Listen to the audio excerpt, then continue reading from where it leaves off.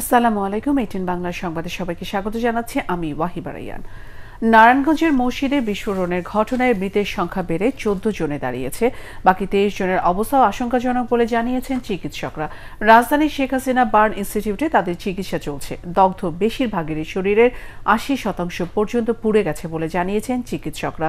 শুক্রবার এশার নামাজের সময় এই বিস্ফোরণ ঘটে। এদিকে ফায়ার সার্ভিস জানিয়েছে, এসি থেকে নয়, গ্যাস লাইনে ছিদ্র থাকায় এই দুর্ঘটনা ঘটে। এই ঘটনায় শোক জানিয়েছেন রাষ্ট্রপতি মোহাম্মদ আব্দুল হামিদ ও প্রধানমন্ত্রী শেখ হাসিনা। পাশাপাশি আহতদের সর্বোচ্চ চিকিৎসা দেওয়ার নির্দেশ দেওয়া হয়েছে।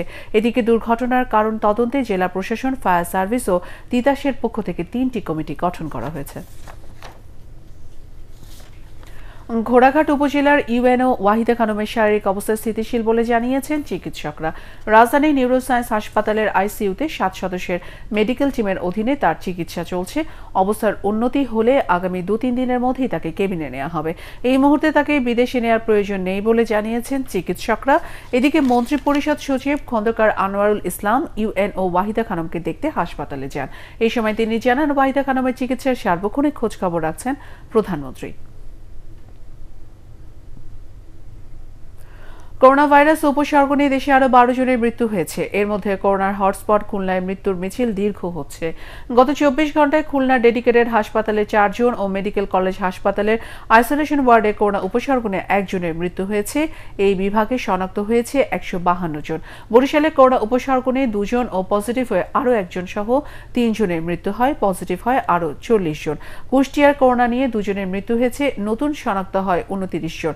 এদিকে সিলেট ও চট্টগ্রামে করোনা একজন করে মৃত্যুর খবর পাওয়া গেছে। এছাড়া যশোরে আরও চল্লিশ জন করোনা পজিটিভ হওয়ার খবর পাওয়া গেছে। সার্বিক পরিস্থিতি বিবেচনায় পরিবেশ অনুকূলে আসলে শিক্ষা প্রতিষ্ঠান খুলে দেওয়া হবে বলে উল্লেখ করে শিক্ষার্থী ও অভিভাবকদের ধৈর্য ধরার আহ্বান জানিয়েছেন আওয়ামী লীগ সাধারণ সম্পাদক ওবায়দুল কাদের।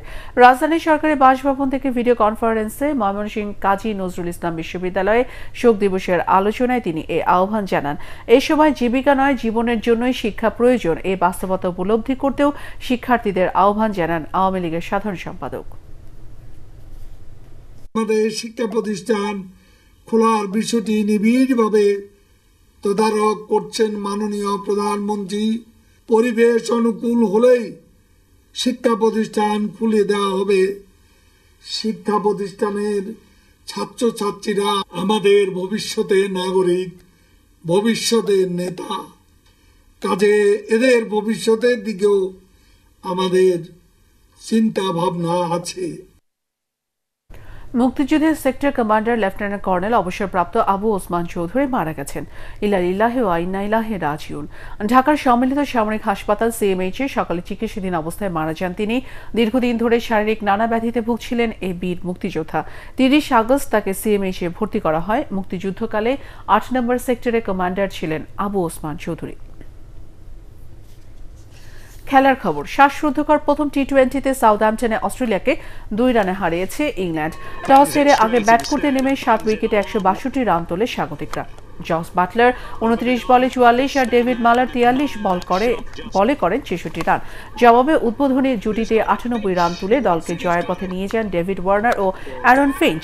কিন্তু দলের একশো উনত্রিশ এ ওয়ার্নারের আটান্ন রানে আউট হওয়ার পর রানের সঙ্গে পাল্লা দিতে পারেনি অজিরা। শেষ ছয় ওভারে উনচল্লিশ রান দরকার হলেও ছত্রিশের বেশি তুলতে পারেনি তারা। শেষ পর্যন্ত ছয় উইকেটে একশো ষাট রানে থামে অস্ট্রেলিয়ার ইনিংস। পরবর্তী সংবাদ দেখার আমন্ত্রণ জানিয়ে এখনকার মতো শেষ করছি। করোনা ভাইরাস থেকে নিজেকে সুরক্ষিত রাখতে মাস্ক পরুন, বারবার হাত পরিষ্কার করুন। এটেন বাংলা সংবাদ, ইউটিউবে দেখতে ব্রাউজ করুন, YouTube slash ATN Bangla news ধন্যবাদ।